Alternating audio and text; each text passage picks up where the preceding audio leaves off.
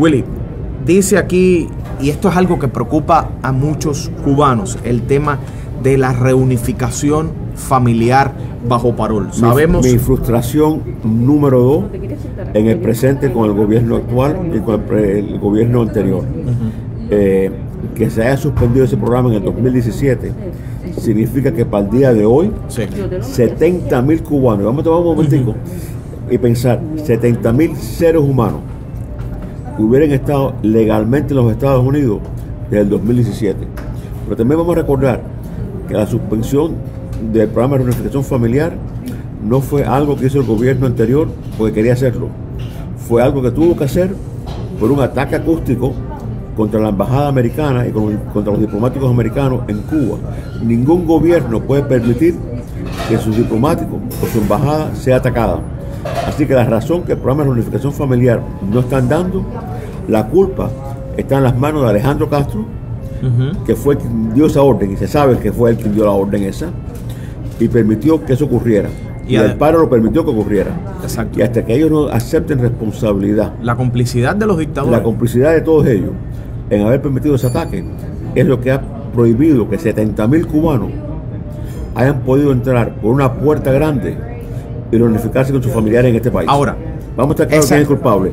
Ahora igual, Eso no quita- esperan- eso no quita que hay una tragedia en 70 mil familias que Correcto. podrían haberse reunido. La- en que el gobierno el de los Estados Unidos. podido escoger una- un segundo lugar.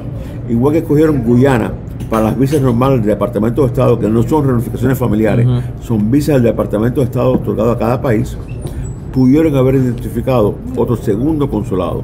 República Dominicana, como trataron de hacer en Colombia, mira, Nicaragua, cualquier lugar que ellos hubieran querido hacer para tramitar este tipo de parol, porque es un parol que otorga el Departamento de Seguridad Nacional. La esperanza mía es que si no hay relaciones con Cuba en un futuro cercano, que yo creo que va a haber, porque yo creo que el gobierno de Cuba está tan, tan desesperado que tienen que bajar la cabeza, aceptar su culpabilidad en lo que ha ocurrido y pedir ayuda. Y cuando eso ocurra, a lo mejor la embajada va a abrir en La Habana. Pero hasta ese momento, a mí me gustaría ver un esfuerzo de este Departamento de Ciudad Nacional a identificar una segunda embajada. Para mí lo mejor sería eh, Nicaragua, Sí, lo que porque Nicaragua falta- otorga las visas fácilmente a los cubanos. Habría que y ver los viajes son si, relativamente hay, baratos. si hay la logística de la embajada como para hacer eso ahí. Porque recuerda que antes de Guyana ellos habían escogido para procesar los visados eh, En Colombia. En Colombia, que es que una- la más grande. Que es gigante Pero la que ocurrió embajada. en Colombia, nunca, nunca, nunca. La incompetencia del gobierno anterior se ve todos los días. Nunca coordinaron con la Cancillería colombiana. Lo hicieron sin, sin discusión y sin consideración del gobierno de Colombia. ¿Y qué ocurrió? El, gobierno de Colombia no estaba preparado para ese tipo de cubanos entrando a Colombia y las visas de Cuba a Colombia eran muy caras, los pasajes eran muy caros y era incosteable ir a Colombia. Aparte, el gobierno de Colombia no lo quería.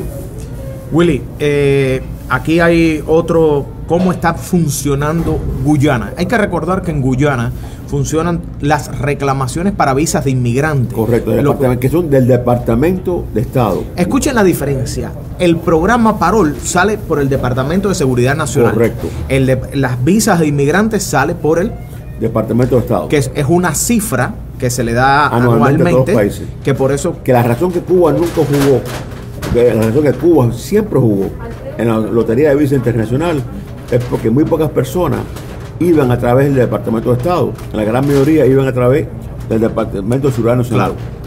¿De qué ocurre ahora? Eh, es, es lento. ¿Qué es lo que pasa? Guyana abrió, Cuba cerró. Entonces está el tráfico muy lento entre La Habana y Guyana. ¿Qué debe hacer una persona que tenga la entrevista, digamos, dentro de dos semanas viendo Bueno, el cierre que eh, tiene el régimen? El problema es el cierre en Cuba. Yo he pospuesto varias entrevistas en Guyana. de ¿Cómo se hace ese proceso? ¿Qué pueden Eh, hacer? eh, por correo electrónico.